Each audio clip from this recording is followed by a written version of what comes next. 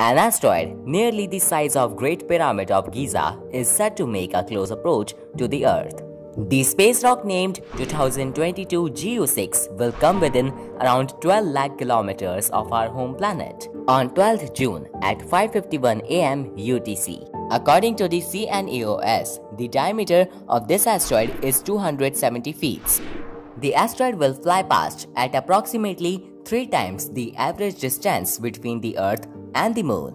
As it zooms past us, the asteroid will be traveling at a staggering speed of almost 18,800 miles per hour, which is about 20 times the speed of sound. Keeping an eye on everything, this is very close approach according to the CNEOS.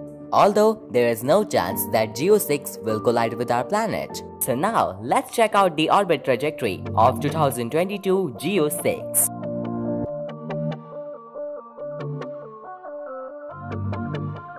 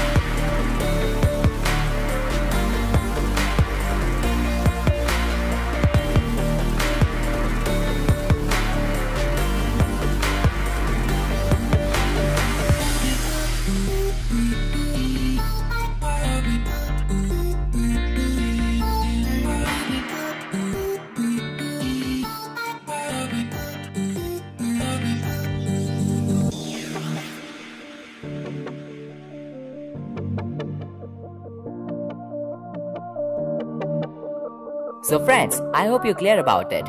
This asteroid won't hit us. We are fully safe from this asteroid.